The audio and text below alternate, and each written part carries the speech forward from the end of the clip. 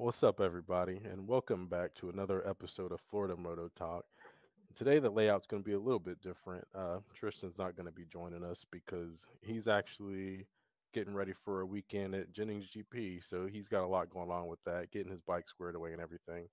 And he won't have time to jump on the show this week. But he did release a pretty cool video uh, just talking about his experience buying his Ducati. And he talks a lot about how um, how much money he spent, and he put a really cool edit together. Uh, so definitely go and check that out. It's live on the page. It's been live all week, and he put a lot of work into it. Really good video, and he's definitely making me kind of step my game up with that one because he upped the production value for sure. But great video. Go check that out, and then he should be back with us next week. But for this week, we're going to do something a little bit different. And so, if you noticed, I have a, a different guest on today. His name's Tyler. Uh, he's a really old buddy of mine. We've, we've been friends for a very long time now. Well, we probably met in what, like 2010? Something like that? Maybe even before that. It would have been uh, 09. 09. Look at that. Okay. 09. Yep. 09. Yes, we've been friends for a very long time. And we're normally, uh, you know, on this channel, we're talking about bikes, we're talking about racing, we're talking about bike deals but today we're going to talk about bike racing, but a different type of bike racing, something that we have not talked about on the channel before. And we're going to talk about dirt bikes for a little bit because Tyler, for some reason, has chosen to go against the, the norms with motorcycle riding. And here in America, most people that get into road racing, they mostly start on dirt bikes. And then as they progress, they switch over to road racing. But Tyler decided to do something completely different. And he actually started, well, started on the street, right? But then started road racing. But then for whatever reason, I, we haven't figured out why. Maybe he can explain it to us. But he decided to give up road racing and go start doing uh, MX racing and hare scrambles and, and things like that. So um, we're just going to talk to him today about his experience with that. And we're going to learn a little bit about dirt bike racing and maybe he can convince somebody to, to quit road racing because he's been trying to get me to quit road racing for uh, ever since I started for about a year now. But um, how you doing, Tyler? Can you hear me pretty good? Yeah, doing good. What's going on, man? Yeah, not not a whole lot. Um, now that we got you on here, man, just uh, just tell us a little bit about yourself, man. Like, how'd you get into riding? You know, how, how long have you been riding, and what's kind of your experience, you know, with, with bikes? Yeah, man. Uh, growing up, I always loved bikes. The my parents were pretty protective. My mom's a medical examiner, so yeah, motorcycles were uh, hell no from a very early age. Uh, but I got into BMX early and loved bikes. Always saw street bikes and wanted to get into them. When I got into college, I had a little bit of money saved up, bought a street bike, something I've always wanted. Didn't tell my mom, didn't tell anyone, uh, my family. I rode that for a couple years, loved it, and uh, yeah, one day I had a crash. Uh, ended up in a ditch, broke a bunch of broken bones. Um, had to call my mom, had family hall found out, all that. Uh, but talking with them, they were not they didn't want me to ride on the street, but I've always wanted to get into road racing. So I took my crash bike, turned it into a road racing bike, and family was okay with that. Uh, got into road racing doing that. As a kid, I always wanted to do motocross, but it, it just wasn't in the cards with my family. Got into road racing, did that for know, six, seven years. Uh, did some WERA, CCS, a lot of track days. Uh, had a good time with it.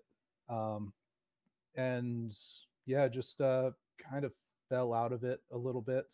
Um, part of it, I moved to Tampa, and the only tracks in Florida mostly are Homestead, Jennings. Both of them are long drives. Um, stayed in it a little bit, but also there's the costs. You know, when you're racing like that, a racing weekend is thousand dollars plus for tires, gas, hotel, everything. And right out of college, that kind of money I I didn't have just to throw away. Um, but always wanted to do dirt bikes. Saw an opportunity, picked up a dirt bike and started riding. Uh, started getting into some motocross, uh, and the cost to go and ride was a lot more affordable. Uh, it's something I could do two, three times a week, uh, every week road racing was always kind of a once a month at most thing. So to get out there and ride that often was awesome. Uh, met a lot of friends, kept getting better. We all, as a group, started improving, trying different things, motocross, racing, hare scrambles. You know, a group of bunch of got people that started as adults. No one was, you know, A level riders, but you know, we we were good together. Um, and loved it ever since. Made it through a couple different bikes, got into different stuff, and uh, anywhere you go, there's plenty of places to ride. I moved out to Washington uh, last year, and out here, plenty of riding as well. Uh, still love it, still in it. Love the dirt bikes, and haven't touched a street bike in a few years. Not against it, but the fun factors just you know dirt bikes you can have a ton of fun doing all sorts of different stuff on a dirt bike Yeah. And I'm wondering, like, how's that phone call go where you're not supposed to have a sport bike at all? And it's like, hey, um, I'm actually like half alive right now. it's a long there's a long story behind that whole how that whole day went uh but yeah i crashed bunch of broken stuff went to the hospital.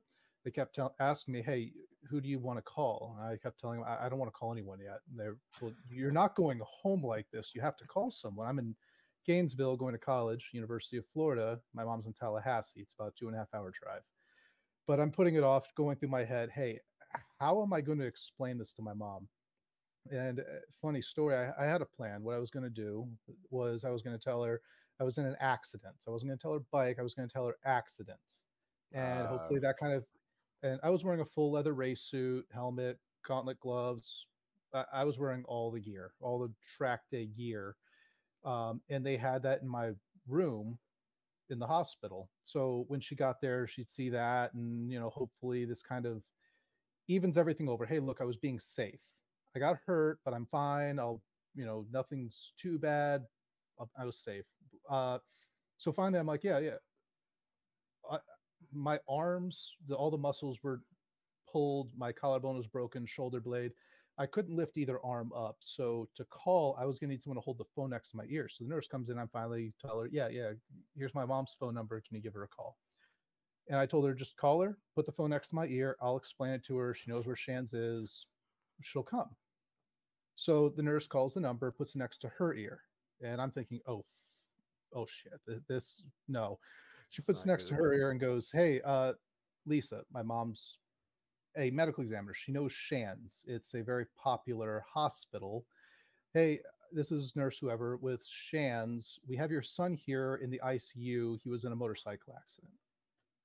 You see this nurse's face is drain. You I know my mom's just yelling on the other side. Is he alive? Oh my god, what happened? She, oh yeah, yeah, yeah, yeah, here he is. Puts the phone next to my ear. You bitch. Uh, it's just Hi, screaming. Mom. hey Tyler, whose bike was it? Uh, yeah, I'm fine. Uh, yeah, bike. Yeah, let, us just talk about that when you get here. So yeah, she comes. We talked about it. She had to take me to pick the bike up from the salvage yard. It looked like a crumpled up soda can. Uh, but she saw the gear I was wearing. We, she was okay. But yeah, it was a interesting day. She wasn't happy, but yeah, it was it was a shock. But growing up, she knew that I was very much a uh, forgiveness permission. I was going to do some crazy stuff and likely not tell anyone. It wasn't much of a surprise, but she was surprised. yeah, and that, if I remember you telling me about that, that was like the same day that you had bought your first leather suit, right? Uh, no, I had a leather suit for quite a while. I, around that time, I bought a new helmet, but uh, yeah, I I had a leather suit since I was in Tallahassee. I was riding pretty often with the uh, leather suit. Yeah. Yeah, I just remember you telling me, I guess, like the, when the paramedics showed up to cut it off. Oh yeah, cut the suit off for you. Uh, I, that whole day, uh, I could go on, on and on about that day. But yeah, uh, I had a pretty bad concussion, and I knew the when the paramedics got there, they they were going to cut everything off. So I had the suit kind of hanging down around my waist, um, waiting for them to show up. I, they were about thirty minutes away. I was going to be there for a while. I'm walking around talking to 911. I have a concussion. I think at some point they told me, okay, just hang out on the phone so we can track your GPS, but I forgot all about it. So all I know is I'm on the phone with 911, but no one's responding to my words. So I don't know what the hell's going on there. It, yeah, concussion screws with your head. But leather suits hanging around my waist. No one's around. I'm in the middle of nowhere. I'm uh, whatever. I'm wearing underwear. So I I remove my boots, remove my one piece suit. I'm in my boxers and a t-shirt, walking around in the road on the phone. And uh yeah, paramedics when they got there, they were not very excited to see a uh, a guy half naked walking around the middle of the road. They they didn't listen to me a whole lot after that point. No, not at all. And so that bike, if I remember correctly, that was a CBR 600 Yeah. too, right? That you ended up converting to a race bike after that. That's the one. Very nice. Is and that's the only bike that you raced? Yeah, yeah. The CBR 600. I started on the SV 650. Um, that you, you know about. Rode that for six months. Switched to the CBR 2008 and loved it. It was a great bike. Converted to race bike. Had it raced with it for the six seven years until I eventually sold it. That was my baby. Put a lot of money into it. I was about to change bikes. Uh, it was a great bike for me. Love that bike. No reason to change. Yeah. So you you raced that one for a couple years, and now how long have you been racing um, motocross and doing the hare scrambles? I got into dirt bikes in 2015. Um, getting into it, I knew it was dangerous, and yeah, so I, I didn't get into it with the inten- intention to race. I kind of just wanted to do some trails, maybe putt around on a motocross track, but intention wasn't to race. But the more I got into it, uh, and the really convenient thing, Tampa MX at the time, I was lived about 15 minutes away from there, and every Tuesday night they had a motocross school. You went there, all age groups, all skill levels. So I started going there. I figured, okay, they'll teach me how to turn and do that. So started doing that, got comfortable on that track, and started getting into racing, just beginner class. You know, really started enjoying that. So okay, it's you know, I, I have the skills to not get hurt. But the whole time I was in Florida, I never actually did any hare scrambles. My friends kept trying to get me to do hare scrambles, but every uh, we had a Facebook group that we all talked on, uh, messenger group. There was about 20 of us, and the guys that did the hare scrambles, they kept trying to convince me and a few other people that weren't doing hare scrambles to go do hare scrambles. But every Monday, the day after they did their race, was just bitching and moaning about how horrible the track was, how muddy it was, how awful it was, how tired, dusty, how how miserable it was. And I'm like, you guys aren't selling me on this. I don't what you've described. I don't want to experience. I, uh, the motocross track, it's nice, it's groomed, it's good, but doing a two-hour race in the mud sounds like an awful experience. So I, I didn't get into it.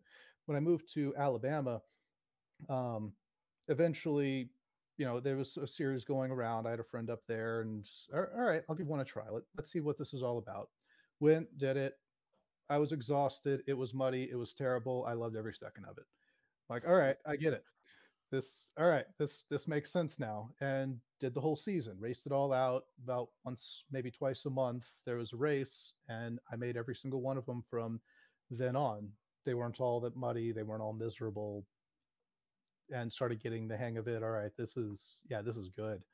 Uh, moved out to Washington last year. I did probably 15 to 20 hare scrambles this last year. Didn't do any motocross races. That's kind of the direction I've gone at this point. Uh, Sweet. What? And I guess since we're on the topic, what I mean, I've I've seen like motocross on TV, and I understand like what hare scrambles are, but for for the people that don't, I mean, what what's the difference between MX and hare scrambles, and um, you know what what's the benefit to doing e- either one? I guess. So motocross is more of a sprint race. At the amateur level, your a race is anywhere from I've been in races as low as three laps and maybe six, seven laps at most. They're anywhere from six to 10, 15 minutes. Um, but it's more of a sprint race. Um, you're all lined up on a gate. We've all watched it. Gate drops, engines are revved. You drop the clutch. Everyone goes in a line. It's very close contact for that first couple of turns.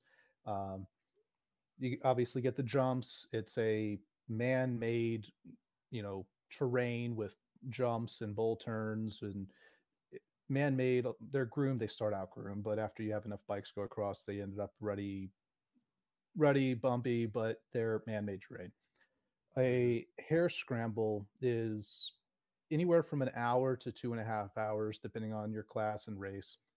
uh, race through the woods. Usually, it's a couple, you know, about ten miles, give or take. Uh, it, it's more of an endurance race. So in there, you start with a dead engine most of the time. Uh, so when the start occurs, you're not all in a line funneled into a group. It's a little bit more spread out, a little safer of a start. Um, and you have two hours. So there's not as much of a need to pass someone immediately if you catch them. And if someone catches you, you don't have to worry as much about them taking you out. Because if they're stuck behind you for two minutes, it's not the end of the world. Motocross race, someone's a lot more likely to do something stupid and pass you. You also get a lot more kids in the you know beginner c class you're going to be racing 15 16 year old kids that don't care about getting hurt don't have to go to work on monday uh the and if they're stuck behind you, they're going to find a way to pass you, whether it's safe for you, them, or anything. Hare scrambles, I'd say, are for the most part a little safer. People are a little bit more tame, respectful. It, but the endurance factor, you're racing most most of the time. It's an hour and a half to two hours. It's a dirt bike. It has a motor, but you get exhausted. Uh, usually within the first 15, 30 minutes, you're already starting to, you know. Start huffing uh, and puffing, get your heart rate up. oh yeah, and more you, more so than road racing. Oh yeah, a lot more. Look, yeah, road racing was easy compared to dirt bikes. But with the hare scrambles, you don't have to worry about jumps either, though, right?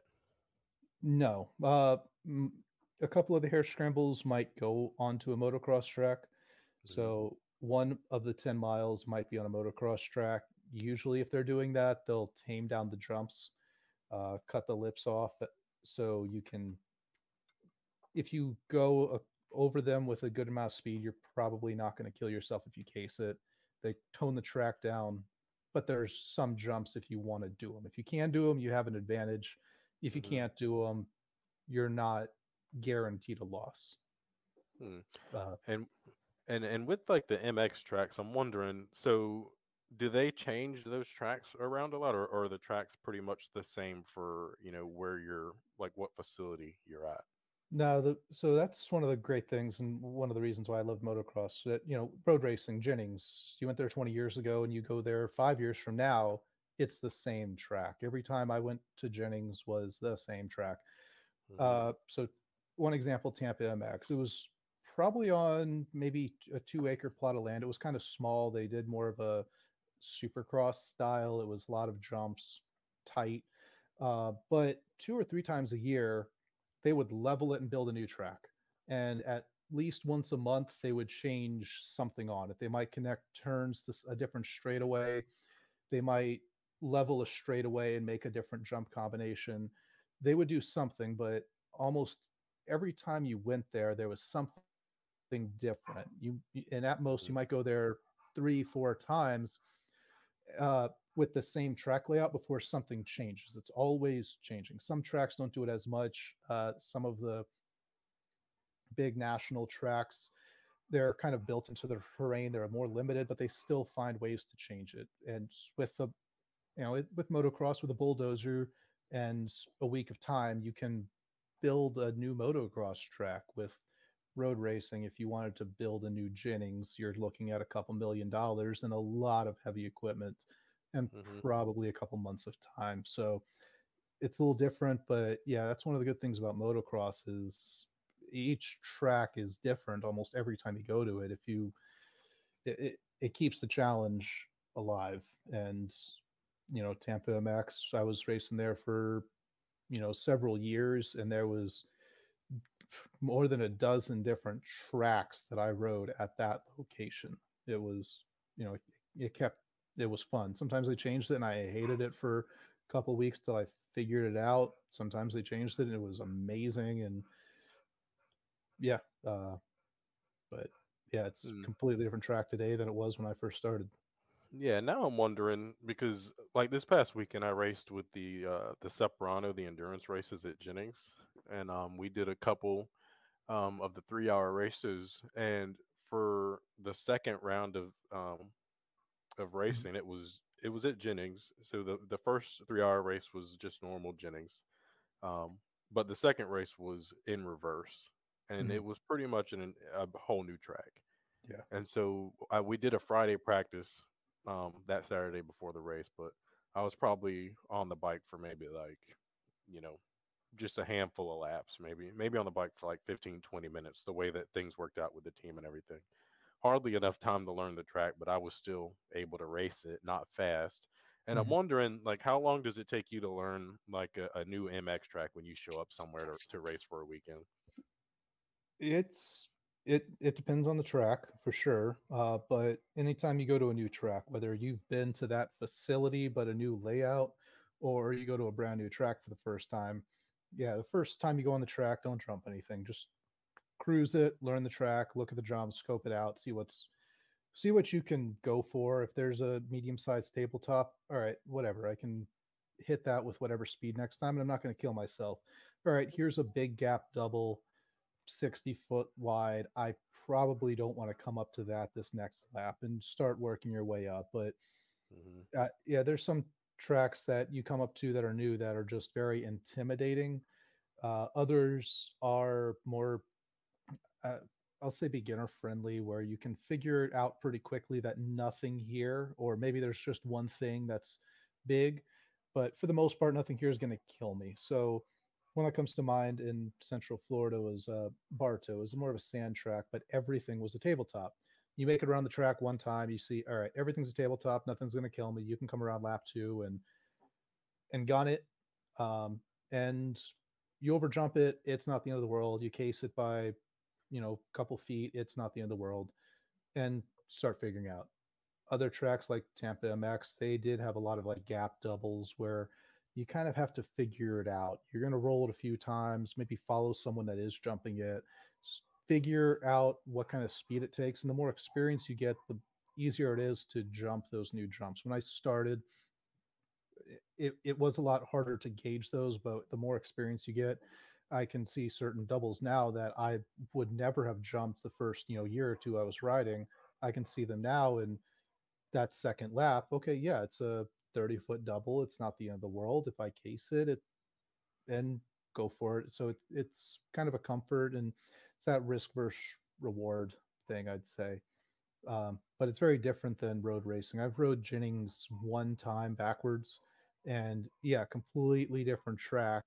You had a lot of reducing radius turns. You had a lot of sharp turns that weren't sharp in the normal direction. And you kind of have to take a step back and relearn the whole track. It's very different on a road racing track because on a motocross track, it's not a the turns aren't as technical. You can see the whole turn. You can kind of gauge how much speed you should take into the turn. You can see the rut and the angle of the rut. The turns aren't the complicated part. Road racing, the straights aren't the complicated part. Anyone can go straight and leave the throttle wide open. It's the turns, it's the breaking points. On a motocross track, it's less about the turns and the breaking points. You need to do those good. You need to get the skills, and there are lines and all that stuff. But you can screw up a turn pretty bad and be okay. And but it's straightaways and the jumps that are the complicated part, I'll say. And on the pro level, it's very different. Depends on what level you're racing on. But for a beginner rider or even a lower C class rider, it's it's those straightaways, the turns. Take the inside, take the outside, screw the rut up. You might lose a half second. It's not the end of the world. It's the straightaways you're figuring out. Mm, yeah, and I don't know that concept of of like racing and jumping is just is the like the, it looks fun, but it's, it seems like just the strangest thing, right? How you can like you look at a jump and then you just gauge how fast you need to be going, like kind of on the fly, mm. right? And And yeah, go ahead. go ahead. Sorry. Yeah, I was just gonna say I, I feel like that can like there's so many things that can throw up like or just mess up your whole sense of speed too, right? Like if you've got somebody that's in front of you kind of obstructing your vision or somebody bumps you going into the jump or something like that. It, it seems like there's a lot that can go wrong when it comes to to clearing gaps like that, right? And yeah, this it's a you know we don't have a whole lot of time to talk about a complicated subject. I'm sure some of the what I've already said is going to drive people crazy because yeah, it, it's uh yeah the straightaways, the jumps. There's not a whole lot you're of time. If if everyone's jumping the straightaway, mostly everyone's going the same speed. The turns are where the times met, the time difference is, and where the passing is done, and that's where the racing is done. So, yeah, what what I've said is kind of grain of salt. I'm worth talking like a practice day, but yeah, the straightaways, um, depending on the track, yeah. Uh, what's a good way to say it? Try, trying to put it into words. Uh, I mean, I mean, it depends on the jump. Some of those big jumps that I haven't been comfortable jumping are the difference maker. That's why I lose the race because I don't want to case the 60 foot double and the 16 year old kid next to me that doesn't have a job. He doesn't give a shit. He's going to jump the thing and he just made, you know, three, four seconds on me and he's going to win the race if everyone's jumping, there are things you can do on the jumps, you know, scrub, try to stay a little bit lower. Going up to a jump, depending on how you're on the throttle and how you preload and all that, can affect how how quickly you can get across the jump. So there are technical little things you can do to make it across jumps faster or slower or farther. And all that does play into it, but the turns in a motocross race are where the passings done is where the difference maker is. Uh, yeah, it, it's very different. It's hard to explain till you yeah do it, but yeah, the jumps it, it does add a different feature to the racing, which is different. You know, you you're road racing, you go to Roebling Road or somewhere with a long three quarter mile straightaway. That's what 30 or 20 seconds of just wide open throttle, hang there, put your head down, look around. Nothing's going on. Just let the bike work. Yep. If you have a half three quarter mile straightaway in a motocross track, that's going to be a lot of work you're putting in. That's going to be a lot of jumps, a lot of whoops, a lot of something going on, keeping keeping it interesting. Areas you can make up speed. So it's it's very different to compare it to road racing. Yeah. And being that you've done both and and now hearing you talk about like motocross racing like so in depth, I mean, I, I don't see that MX racing is safer, but I mean, wh- which one do you think would, would be safer at the end of the day? Hare scrambles, MX, or, or road racing? I mean, it's apples oranges, I'd say. Uh, yeah. You know, you go to a motocross race, more than likely someone's taking an ambulance ride out of there. Every time? Poss- possibly more. It depends on the track, but certain tracks, yeah. I've been to certain race days where six, seven ambulance rides out of there. Uh, oh man. But on that same token, I've been to Roebling Road where six, seven ambulance rides out of Roebling Road where we have a you know hour stand down because they ran out of ambulances in the city because everyone's carrying racers to the hospital. Um, I mean, road racing, you have a lot higher speeds, it can go a lot worse, but the majority of your crashes aren't bad. Uh, racing, I think I've crashed six, seven times, and each time you low side, you slide out, it's not a big deal. But you hit a wall, you start, you high side, start tumbling, you hit another rider at those kinds of speeds, it can go bad quickly and your bones can break quickly. Motocross, you're going to crash you're going to drop the bike far more often. You're going to have probably, I don't want to say few, no, you'll probably have more crashes, but you're going slower. And usually when you crash, it is in a turn. It's you're you missed a rut. You something happens, and just watching professional motocross, most of their crashes are in a turn. Some they made contact, someone missed a rut, someone did something stupid. A few of them are on jumps, but even still, you you're jumping, you are in the air, but you're going 20 miles an hour. Would you rather, you know, fall 10 feet out of the air going 20 miles an hour or hit a wall doing 160? It's it, it depends on the uh, how it happens, but overall, I'd say motocross is. I've seen more broken bones and stuff coming out of a motocross race than I have a road racing race. Okay, but so. the injuries can be a lot worse. I haven't seen someone take trauma hawk out of a motocross race. I've seen a few trauma hawk calls from road racing. Okay, so about the same level of danger then, either way you look at it with both. it, apples, oranges, I'll say. so, what was it that really motivated you then to switch to make the full switch over to MX? Was it the safety? Uh, no, it definitely wasn't the safety because coming into motocross new, you're gonna get hurt. You're you're gonna it, it was new. I was I'd say I was safe doing road racing. The only time I got hurt was when it was on a street bike. When when I was actually racing, it you know all my crashes were low sides. I was fine. Um, yeah, it. I'd say one of the uh, big things was the cost. Um, at the time, I was making about seventy five thousand a year, which is you know not bad. Uh, but doing a road racing event was you know a thousand dollars for the day. If you're talking about tires, gas, hotel, everything said and done, a thousand dollars is probably what you're spending on a road racing weekend. You go to uh, you go to a Daytona race, you're a step above that. With dirt bikes, I didn't get in it for that, but that's something I realized really quickly is I can go and ride for under 20 bucks certain days. I can do it multiple times a week. Road racing was always a racing was once every 2 or 3 months.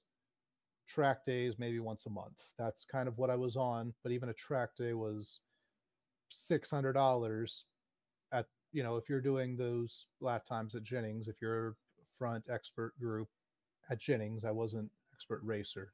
Um, you know, you're going through a set tires in a day, four hundred dollars entry fees, everything said and done. You're, it just it's not something you can do every weekend.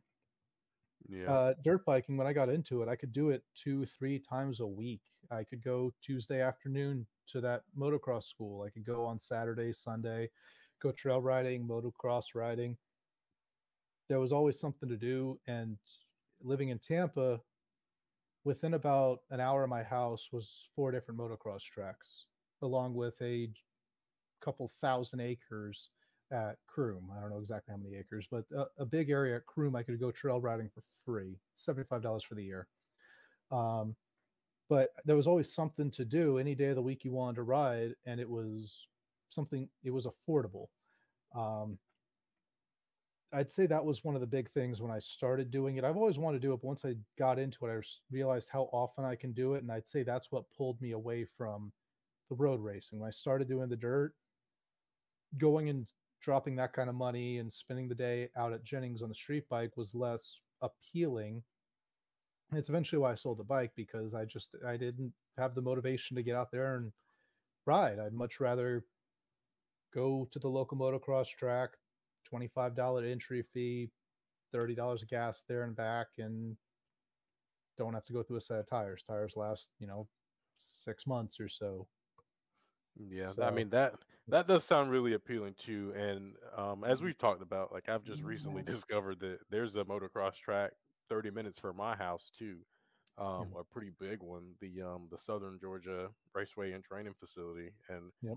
I mean, it's like in my backyard, and and it's almost a crime that I don't have a dirt bike at this point because that place is awesome. And they just did some races there a couple weeks ago, and um, I went and got a, like a lot of pictures, did a made like a little video edit that I'll actually probably share on this page too, but it's it's on my um my other Facebook page, my six seven five Dreamer.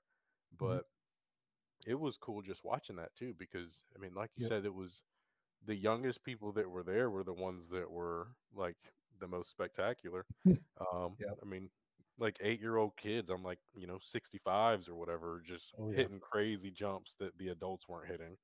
And just, I mean, it, it was wild to just see that stuff. And I took my kids out there too. They loved it. I ended up getting them a PW50 as well. So, I mean, yeah, it's it's definitely definitely hard to deny that that you know financially dirt bikes is definitely the better choice, right? And I'm mm. even hearing people say that you can race like an entire season on one set of tires. How true is that? it depends, depends on the on series. Depends on the pace, depends on the yeah. series, depends on the terrain, all that stuff.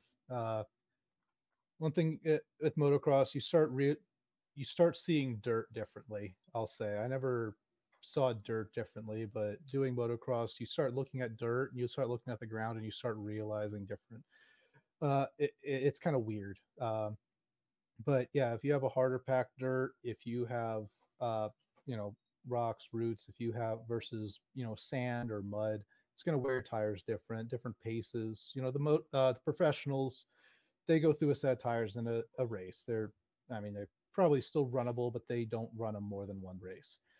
Amateurs, some of them will run a set of tires for a year. It's Mm. all different. So yeah, Um, that's appealing. But but how much is a set of tires? 180, I think. And then Which, yeah, run- less than run half. Yeah. and you can run this this weekend at, at the endurance race, and we didn't even buy as many tires as some people did, but for our team, for um said for the two endurance rounds and then for Friday practice, we bought three sets of tires, and it ended up being man, like Yeah. it, it was a what like thirteen is about thirteen hundred Yep. bucks for we were running Pirellis, um, just medium and soft compound Pirellis, and yeah, that hurt. And that was just yeah. I mean, and that was endurance racing. I mean, it is what it is, but yeah, cost of tires with road racing is bad. Yeah, Very mean, you bad. split that cost up a little bit, but yeah, it, it- one day out at Jennings, if you're if you're really trying to progress and you're trying to run expert pace or advanced pace at Jennings, if you're trying to run those faster times, you're going to go through tires faster, and tires are what they are. It's four hundred dollars back when I raced. They're probably a lot more now. Um, you're going to go through them, but you show up to some of those and you have amateurs with a rack of wheels with tires on them and they're going through multiple sets in a day like i mean if you want to compete in that expert class if you want to move to that next level if you want to progress their tires are just going to last that much less and but yeah even the paces that i was running tires at a day at jennings were were toast. I might be able to take a Mhm. front to two days but a, a rear wasn't going two days.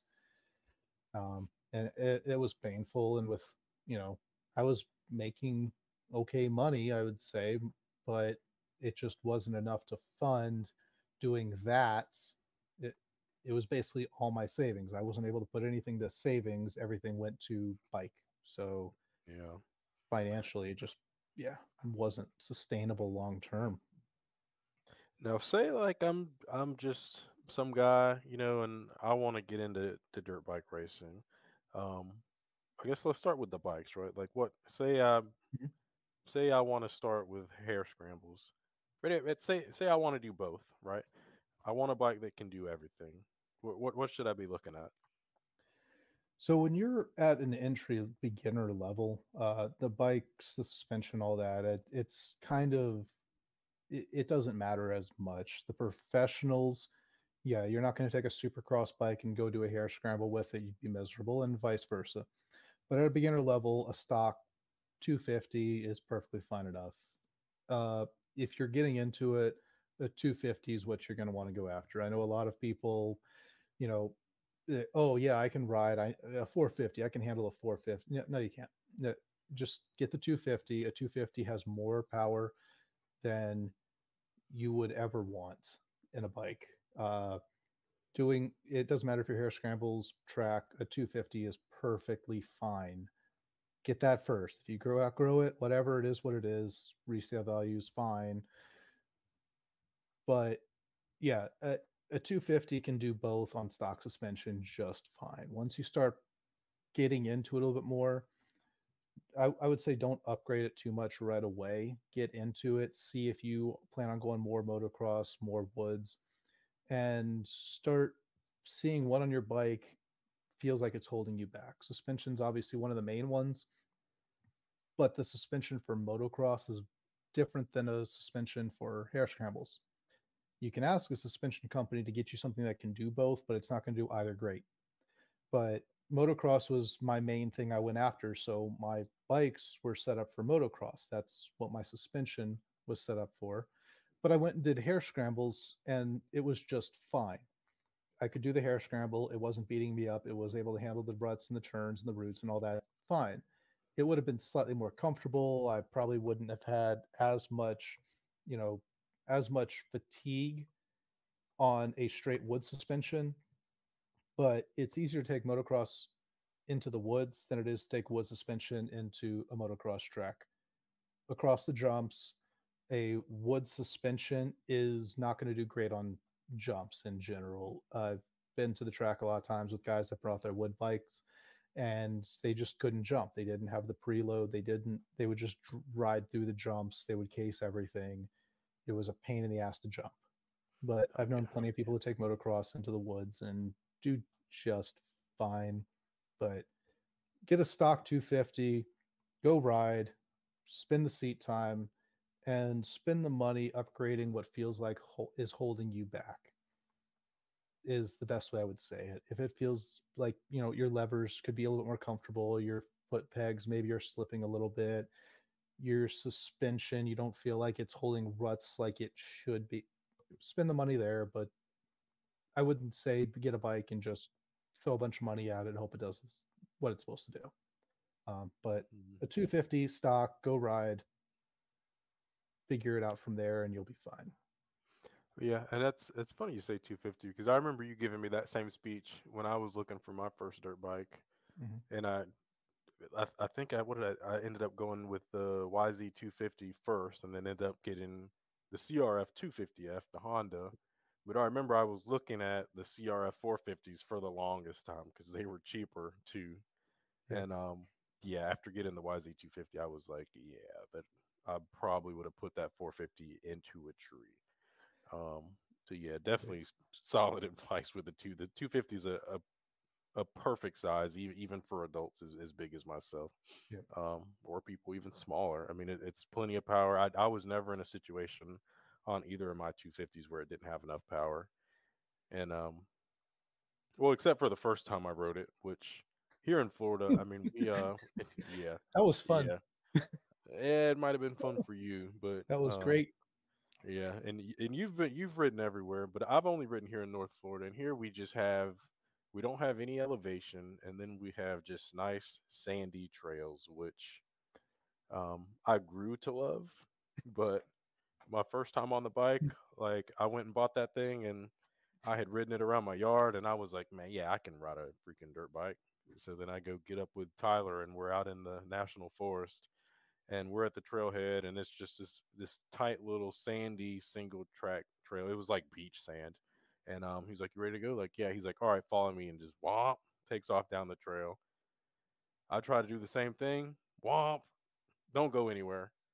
Maybe like what like like 15 minutes later after stalling out the bike like 15 times and cursing at it and kicking it over like i, I finally like put it down the trail and tyler's just sitting there looking at me like are we gonna go riding today or what Yeah, it's funny you mentioned that. Uh, yeah, when I got my first dirt bike, I, I found a good deal in Tallahassee, so I went to Tallahassee to buy it.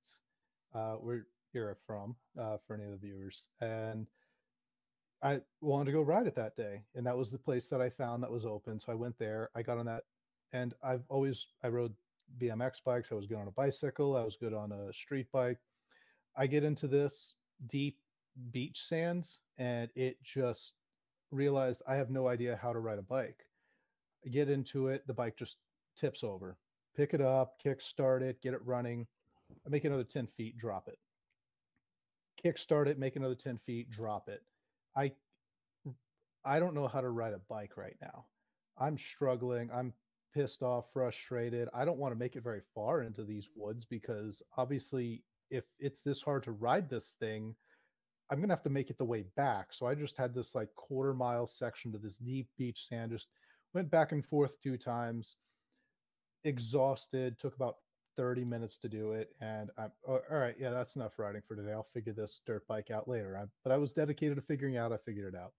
But when you got your first dirt bike, I knew exactly where we were going.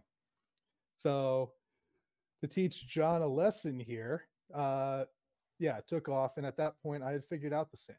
I knew the sand, I knew how to ride it. And the trick is just hold your momentum, give it throttle, lean back. And when the handlebars start swapping, let them lean back, squeeze your knees, drive through it. So I shot through it, made it look easy, made it to the end. I knew John wasn't coming. So I get to the end of the trail. I didn't even look back. Turned the bike off, put it against a tree, sat down, and just drank some water and waited. Just, yeah, he'll be here in about five, ten minutes. Sure enough, he comes riding up. Hey, what what what took you so long? Went and gave him the advice that probably should have given him in the given him in the parking lot, but no, that was that, that that was uh it was worth it. gave him uh, the advice. All right, so here's squeeze through the knees. Here's where you're going to sit, wait, throttle. Gave him the advice. We were good the rest of the day, but that was it was worth it to see someone else go through what I went through on my first day on a dirt bike. Yeah, and the funniest part about that is that like right like shortly after that, a buddy of mine got a KX two fifty, and I took him to the same exact spot and did the same exact thing. Yep. the same exact thing, but he took even longer than I did to get down the trail. But yeah, Yeah. it seems, it seems like a lot of people hate riding that sand, but I feel like, Yeah. like it definitely helped me become a better rider for sure. Like I like riding 100%. that sand, yeah. Every like any sort of terrain that I did ride was just easy after learning how to handle the Yeah. bike with that. And I feel like because I was also doing track riding at the time, and I feel like my track riding got a lot better too. And uh, like I remember one time in particular, I was on, I was at the track, and then I had my back end kind of step out on me and start sliding around. And normally, I feel like it would have spooked me, but when I was riding that s- the single track and riding the dirt bike a lot of that time, like it, it, it didn't you know, it didn't spook me at all. I kind of just controlled it and then just kept sending it and didn't really think about it. Um, do you think there's any like benefit to riding dirt bikes as well? Like probably cross training when you're, um, say, when you're road Yeah. racing? Yeah, hundred percent. Um, yeah, I- I've seen a lot of, and usually, like you brought up, early, like first thing is most people go from dirt to street, and I've seen Mhm. some kids that went, you know, they were riding dirt their whole, gr- oh, growing up, their whole life. Turn 16, 18, parent gets them a bike, and they go out to Jennings, and their first day, they're doing, you know, expert track times. They're doing incredible because they're used to the you know handling the traction and road racing it's a lot about being on the edge of traction and, but you have a ton of it. On dirt bikes you have a lot less traction but you learn how to handle it.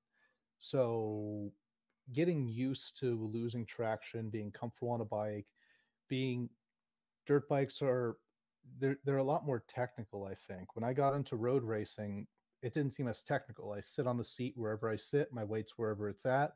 I learned how to kind of lean off the side of my bike and you know drag a knee around but i never paid attention to f- if my weight was forward weight was back. I you know remember the back end kicking out a few times and you know come off the throttle let it come back and then all right get back into it. But being comfortable in a dirt bike being comfortable with dirt bikes are very sensitive to weight management. You there are certain areas you have to have your weight forward. There's certain areas you have to have your weight back. Body position in out and traction. You're going to have to get comfortable without traction. Taking those skills onto a street bike there's going to be a learning curve for sure but you're going to have skills that no one else out there does. Uh, i mean uh, one story i'll say uh, one time i was out at roebling road there was i think it was uh who was it? Was it melka? Greg melka? Um i was on the main straightaway at roebling i just installed a quick shifter something was going on something was shorting my bike was kind of so i, I wasn't going to keep pushing it so i rode off at the end of the straightaway on roebling and just hung out over by the banking off to the left where no one was going to hit me if they ran long um, the first five experts who were running on the track at the same time come around. Greg's in third. He runs wide, and if you've ever run wide on turn one at uh, Roebling, it's a big sand pit. It's that beach sand we were talking about a minute ago. Dirt bikes are hard to ride in that. A street bike's impossible to ride in that. And I watched this guy he you know he was full tuck on a street bike when he hit that sand sat up elbows out leaned into it like a he took this r6 and railed this flat beach sand just as fast as the guys who were on the track and hopped back on right behind fifth or now fourth place. He handled that sand better than i could have handled the asphalt on racing slicks. And it i watched this happen. I- i'm You had a front row trying to- seat. trying to figure out what the hell i just watched. What what was this? I need this. Uh, you know that skill what the hell was that? But I mean, it, you know, I went and talked to him after the race. I, uh, what the, how, how do you do that? And he talked to him. He did the hare scrambles. He rides the dirt bikes, and he, you know, kind of talked to him for a little bit. But it was that dirt skill that kicked in when he hit that sand. He's been in there. He hasn't been in there in slicks, I'm sure, but he knows how that sand is going to handle on a street bike. And honestly, if you know how to handle that deep sand, you could probably handle it better than you could grass.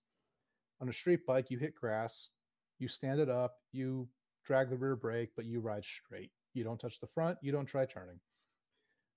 Sand, it kind of develops a certain banking to it if you know how to handle it, and he knew what to do with it. And that that kind of skill you're not going to figure out on a street bike. And I, I mean, the off-track excursions probably aren't, you know, the reason why to ride street bikes, but this or ride dirt. But this guy who rides dirt was front of the pack expert racer, and he's incredible. He can handle the lack of traction, but it, it a lot of why he does it, why he's as good as he is. I'm I'm sure. I, don't want to speak for him, is because of his experience on the dirt. Uh, but seeing a lot of these young kids go from dirt to street, kill it a lot quicker than any adult is going to who's never ridden dirt and hops on a street bike. Yeah. And that it's it's apparent too because um just watching like all the young talent like especially in Moto America, you know, they're all riding with those high elbows like you were talking about. That's yeah. kind of like the style now, and that that's definitely got to come from yeah either either dirt training or uh, mini bike training too, because I mean that's getting um, like pretty popular now, mini and supermoto as well. Yeah, but yeah, definitely benefits to cross training. So definitely like an even bigger benefits going from dirt bike to sport bike. But did you see any benefits going from sport bike to dirt bike? uh, it's different. The um, I mean, I'd say I did start with some kind of leg up if you know riding brand new against someone else that was brand new. You know, basics like throttle management and clutch and shifting, the basics, but it's very very different in a lot of your sport bike uh habits aren't going to transfer appropriately. So I wouldn't say it transfers the one way. Um, there's some stuff that does focusing on line choice, entry speed, exit speed, certain stuff like that helps. But you have to figure out how to handle the entry speed when you have as little traction as you have. And usually developing that skill teaches you how to handle entry speed. So it, it there's some that you can take, but I'm not gonna. I don't think you can see the same benefit getting a bunch of experience road racing and going to dirt as you would the other way around. You're not going to start on the street and become a professional motocross racer. Ain't going to happen. You can start on the dirt and become a professional road racer. You see that all the time. And uh, you see a lot of the MotoGP guys, they cross train doing dirt because of the skills they learn. Uh, yeah, they all do. Pretty much every single one of them. Yeah. Um, sweet. So, uh, talk. So let's talk about competition. I, I don't want to keep you here all night. Um, You're good. So we're getting to the end here.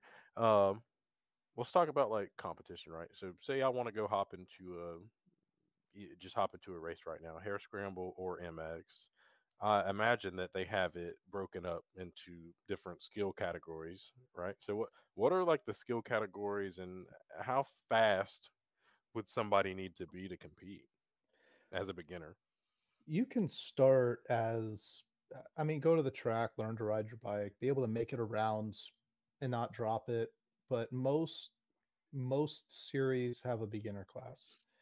Um, for motocross, that's where I started. They had a beginner class uh, my friend's dad was riding. He never practiced. He would just show up for the races. He had a dirt bike. He could go, but he wasn't jumping anything, and he wasn't getting last place. There hmm. in the back were just guys that were just putting around, happy to be there. In the front was some kid that didn't give a shit, and all the other beginners in the middle. You, you don't don't put yourself in dangerous situations, but most of these series have a beginner class you can join and be comfortable doing motocross. Uh, don't join a C class. Make sure they have a beginner class. Mm-hmm. And the age groups they at motocross races they'll have a 25 and up class or a 30 and up class, something like that. Don't join those either. Uh, the the age classes like 25 and up, you end up with a lot of guys that almost went pro and are incredibly good. I joined one or two of those early on and just got the doors blown off. Uh, got lapped on like lap two. It mm-hmm. yeah, it was sad. Um, similar on the hare scramble side. Um, in the hare scramble side, you could probably go into the C class a little bit earlier. There's usually a beginner class you can get into, but C as a new rider, you could you're probably going to be okay in the back of the pack as a new rider and not be a hindrance or a hazard to everyone around you. Okay, you, you said that was C class. Yeah, so C class is kind of the first amateur class. Motocross, they have a beginner where for the people that aren't comfortable jumping everything, for the people getting into it, because motocross, there is a big skill, there's a big speed difference if you can jump everything and if you can't jump anything. And they don't want them on the same track at the, the track at the same time. C class, they're jumping almost everything. If you can jump most things, but there might be one or two that you can't jump on the track. You might be okay in the C class, but the beginner class is where you want to go, and you'll figure out when you're ready for C at that point. Hare scrambles. You there's it's a two hour race. At some point, someone's going to be behind you. Pull over and let them by if they're obviously faster than you, but being a C a beginner rider in the C class isn't a big as big of a deal, I'll say, in hare scrambles. But in MX, then the skill gap is pretty huge. Oh, yeah. yeah. between beginner and C. Now, how long can you sit in a class? Like, will they kick you out of a class if you start dominating, or what? Uh, there's plenty of sandbaggers that sit in C class for a lot longer than they probably should. I'll Man, those guys are everywhere, aren't they? and I, it, there's a lot of really, really fast guys that could be doing really good in the B class had they if they moved up. Um, but if you're racing national C class, those guys probably aren't winning the national C class. So it, it's it's kind of complicated. If you go to your local race though in C class, there's probably one or two guys that are just going to dominate everyone and could have probably won the B class as well. Hmm. But most of the C class is yeah, uh, they they know enough to jump, but they're not going to be the fastest guys of the track. B class are usually some pretty fast guys, and A's basically semi pro. So then, just just for the sake of comparison, then from beginner class, or even from C class to A class, is going to be just an astronomical difference. it if everyone's in the class they should be in, yeah. And if you go to hare mm-hmm. scrambles, uh, hare scrambles usually keep it a little bit closer, but first place C class for some reasons usually they're running times that would put them mid to front pack B class. They probably should have gone to B class, um, but you start looking at you know the average B class times versus your average C class times, yeah, it's ridiculous what the difference is, and A class is in a whole other planet. So yeah, it, hmm. it and it depends on the state, the series. It depends on a lot of different things, but in general, there's always sandbaggers. But start where figure out what uh what class you're probably meant for. Most likely, you're going to start on beginner and see and go from there. Figure it out. See when you start getting all first places. Probably time to start moving up. Mm, and then for for most weekends, I guess is uh with with the dirt racing, it's different from road racing in that you just pretty much just show up and you sign up and there's kind of no oversight as far as like bike tech requirements and things like that. No, I don't think I've ever had bike tech uh, at any motocross race I've been to. Um, mm-hmm. but yeah, show up, sign up. Some of them want you to sign up for some membership to something. Some of the big races need an AMA membership, but you can do that there. Show up, sign up. You don't need road racing. You need a uh, license. You need to do your racing school. You need to get a certificate. You need to go do that before they'll let you on the track during a race, and it's a safety thing. For motocross, no, if you own a bike, you can show up and race. Uh, Just like that, and and what like 30, 30 bucks a race or it it varies. It depends. Um, so most of the motocross races I've done, I'll I think around like 25, 30, but usually you sign up for a couple classes and some of them might discount it after that. So you might be paying anywhere from 70 to 90 for entry fees to do three classes at a motocross race. That's usually what I would aim for is three classes. Uh, hare scramble depends on the series, but usually maybe 60 to 90, um, depending on which memberships you need to buy and all that. But if you're in a, a state, uh, if you're in Florida doing motocross or hare scrambles, you're doing FTR. You're not going to have to buy a membership every single time. It's a one-time thing. I never raced FTR, but it you pay for the membership, you pay for your race, you go out there and do it. Its entry fees aren't nearly as as much as road racing. Road racing, I remember I would do three or four classes and it'd be 400 bucks for entry fees and Yeah. practice. and with like the ha- I guess with both, but we'll start with the hare scrambles too. uh, How how do you learn? Well, for one, how do you learn a two-hour course? And two, like, do they is there like a practice that day before the race, or how does that work? No, hare scrambles. I think FTR actually. I never did FTR, but they, uh, I believe, do a sight lap. But usually they're eight to twelve miles. Uh, but no, your sight lap's all you get. Um, in Alabama, uh, the series is called SECCA, S E C C A, and out here in Washington, there's two of them I've been running. One's NMA, one is NORCS, N O R C S hmm all the ones that I've done, you don't get a sight lap. Your first time seeing the track is your first lap of the race. So everyone's figuring out for the first time. No one is a no one's supposed to see the track before they're on it. So everyone should be on a fairly level playing field. Uh, obviously, there's people that find their way out there, but for the most part, everyone sees it, experiences it for the first time. Wow. And what happens if you have like a mechanical hour and a half in, or you have a some sort of injury halfway down the course? So yeah, hare scrambles are a little little uh harder to handle that stuff because if you are in the middle of the woods and something happens, you're in the middle of the woods. It's Mhm. most of the time it's a 10 mile course. You'll do several laps, but you could be, you know, two miles away from the pit area where you need to make it back to, but there's woods in the way. You're not going to push your bike the rest of the course. You're going to have to find your way through. People are out there to help if things are bad. There's usually some spotters, some people that are riding the course just looking for someone that's having a problem.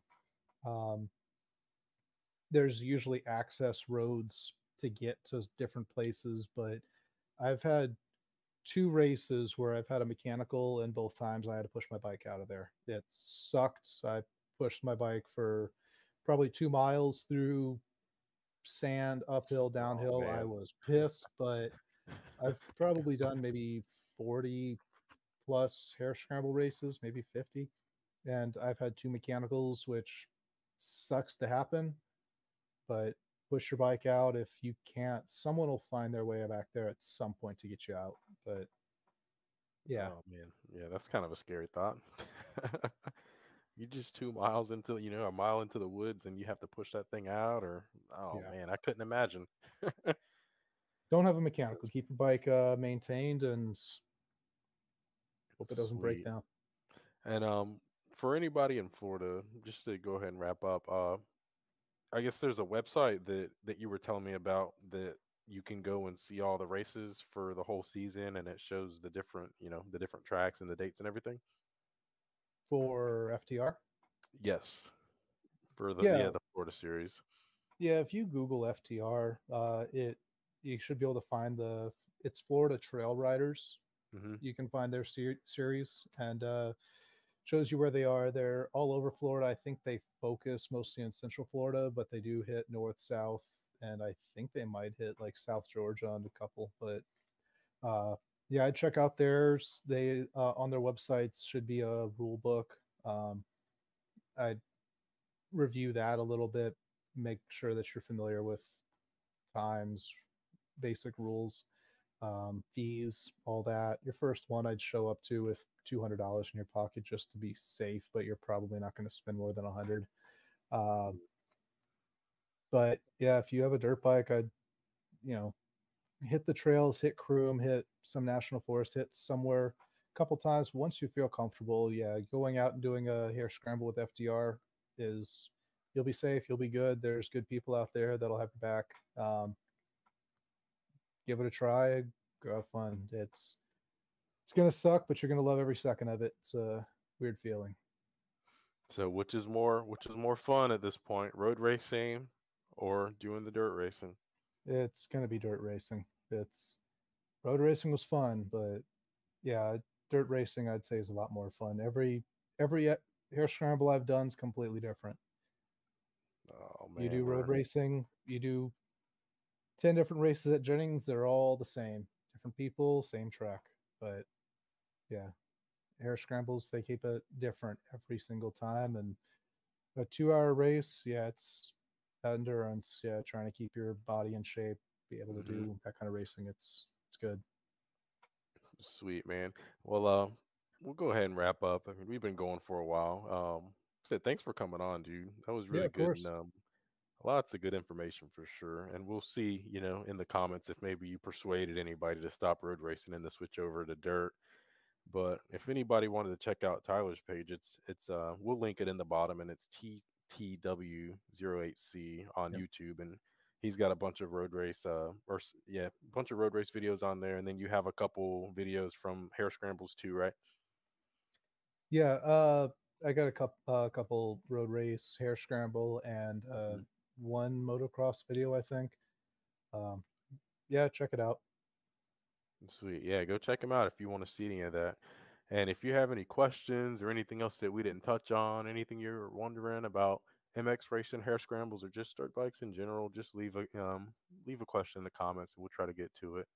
But yeah, thanks everybody for listening. We'll go ahead and wrap it up here. Um, thanks again, Tyler, for coming. And uh, side Mhm. note, you didn't even notice my wife's butt in the back when she was crawling across the bottom of the screen, did you? No, I saw that. Yeah, it was pretty obvious actually. yeah, I don't even think I'll edit that out, man. Like we're just gonna run with that one. Yeah. Absolutely not. But yeah, thanks, man. We'll see you next time. Yeah, of course. It was good. Thanks for having me. Yeah, man.